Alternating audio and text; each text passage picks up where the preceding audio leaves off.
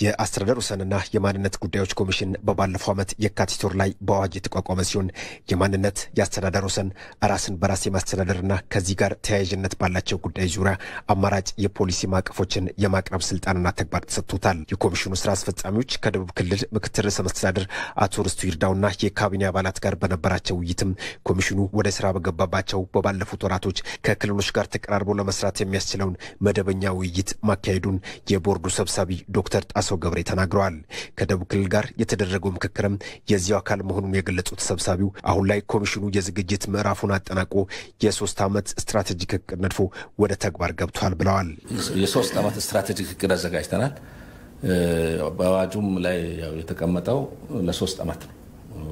እንደ አስፈላጊነቱ የሚራዘም መሆኑ እንደተጠበቀ ሆነው ግን በሶስት ዓመት ጊዜ ውስጥ ይህን ነገር አምጡልን ነው የተባልነው። በዛው መሰረት ይህንን በእቅድ መምራት ስለሚኖርብን ስትራቴጂክ እቅድ አዘጋጅተናል። በዛ ስትራቴጂክ እቅድ ላይ ደግሞ ተመስርተን የ2012 እቅድም አዘጋጅተናል። በዛው መሰረት ወደ ስራ ገብተን ነው ያለነው። አብዛኛው of course እስካሁን በዋናነት ስንሰራ የቆየ ነው የዝግጅት ምዕራፍ ስራዎችን ነው። አሁን ወደ ተግባር ምዕራፍ መግባት ጀምረናል። ኮሚሽኑ በቀዳሚነትም ሀገር አቀፍ የዳሰሳ ጥናት ለማካሄድ በዝግጅት ላይ ይገኛልም ተብሏል። የመጀመሪያው ዳሰሳ ጥናት ነው የምናደርገው survey የሀገሪቱ ሁኔታ አጠቃላይ ምን መልክ እንዳለው የሚያሳይ ችግሮችንም የሚለይ ቅደም ተከተልን የሚያበጅ አንድ ዳሰሳ ጥናት እናካሄዳለን። እሱን ለማድረግ አሁን process እየተደረገ ነው ያለው። TOR ተዘጋጅተዋል። ቢጋር በዛ ቢጋር መሰረት የሚመለከታቸው ክፍሎች አቅርበው ከዛ እንመርጣለን ማለት ነው።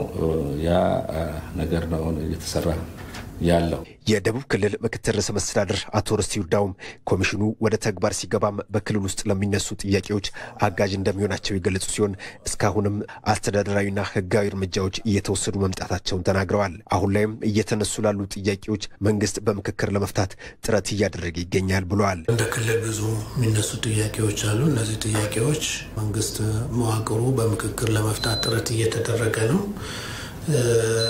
ያኛው ምናልባት በህዝቦቹ አብሮነት እና እንዳልኩት ለዘመናት በገነባ ነው ህብረ ብሔራዊ የሆነ ክልል ውስጥ ያደረግነውን መልካም ነገር ሊያጠለሸው አይችልም። ያው አዳጊ ፍላጎት ይኖራል። ያንን አዳጊ ፍላጎቱን ወስዶ እስካሁን የመጣንበትን መንገድ በመልካም ቀምሮ የተሻሉ አማራጮችም ካሉ እየተመካከሩ መፍታት ያስፈልጋል ብለን እናምናለን። ለእኛ ትልቅ አጋዥ ሆኖ የሚቆም ኮሚሽን ነው። ስለዚህ በጣም ያገዘናል። ምክትል ርዕሰ መስተዳድሩ በቀጣይም ከኮሚሽኑ ጋር በትብብር ለመስራት የክልሉ መንግስት ዝግጁ መሆኑንም አረጋግጠዋል። በውይይት መድረኩ ላይም የተለያዩ ሀሳቦች የተሰጡ ሲሆን በኮሚሽኑ የሚከናወኑ ተግባራት የመጨረሻ ውጤት በመሆን ችግር ፈቺ እንዲሆንም ዜጎች በቅንነት ሊተባበሩ ይገባልም ተብሏል።